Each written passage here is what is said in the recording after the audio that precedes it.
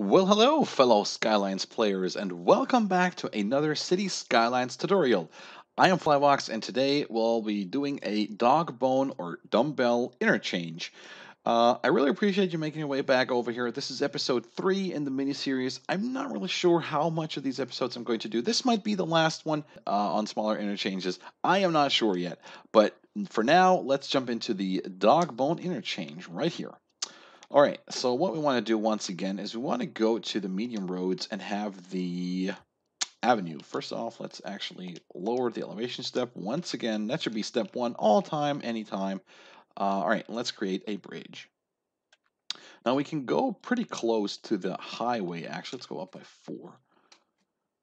We can go really, really close to the highway because we don't need any connections which go underneath the avenue. All right, now let's go out by 12 just to create that smooth slope right here. Let's go out by 12, out by another 10. Let's actually, let's make it 5. Let's go out by 5 only here. delete that. We'll go out by 5. There we go. Nice. So we are left with this. What we want to do now is create two roundabouts at either side of this avenue road right here. All right, here we go. So this should be how it looks right here. Uh, we can also uh, anchor the roundabout real quick. Let's actually do that because you don't want it to transform basically. Please let me anchor this. Thank you. We'll take those roads out in just a second. So there we go. Nice. So we have something to work with. Anchor points galore. Now, we can actually go to the highway ramp right here because what we want to do now is connect these points with the highway or like so. Uh, this one as well, and this one, and this one. Now, if you want, you could basically just do it like this. This, this will work fine. You can, however, also do something like this. So you'll go to the freeform, and you'll just have some gently curves in here can use some road guidelines. Sure, why not? That's why they're there. There we go. Now this is very, very huge, but that is fine.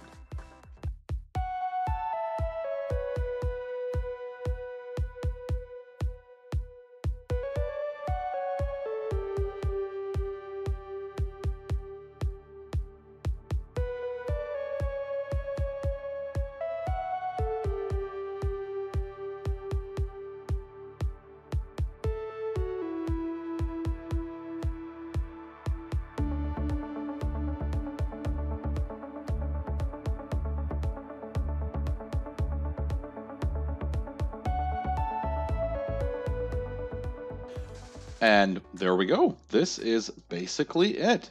So obviously this is way, way oversized. You can make this bridge a bit smaller here. You don't have to go out by 12. We went out by 12 units to go down. That is not necessary. You could have the roundabout start like right here as the bridge elevates just to make it a bit smaller, a bit more compact. Um, but yeah, this is basically it. So if you would think that let's continue this road here.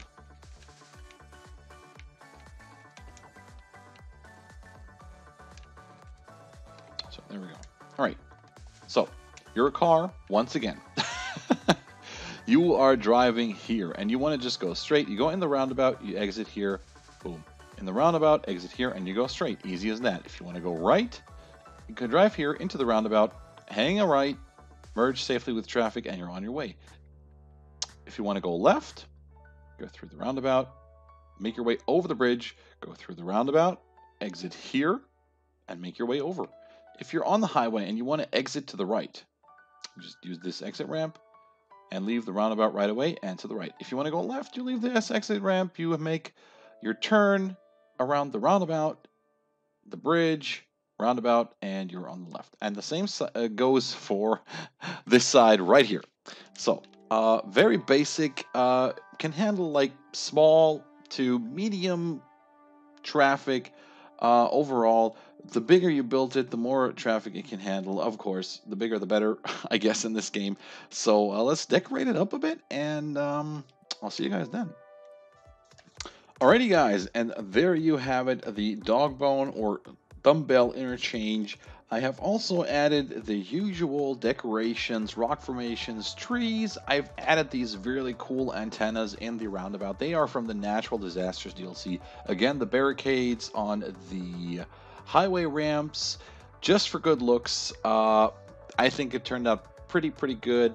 Uh, feel free to leave a comment in the section below. Tell me if you have tried to build this yourself. Tell me if you made any modifications to make it maybe better. I don't know. This is like not my tutorials are not like the best way to do these intersections, but they are a way to do the intersections. You can totally customize them, make them fitting to your city if you like. Uh, I'd really love to read everything about it in the comments. Uh, and if you found this video helpful, feel free to leave a like.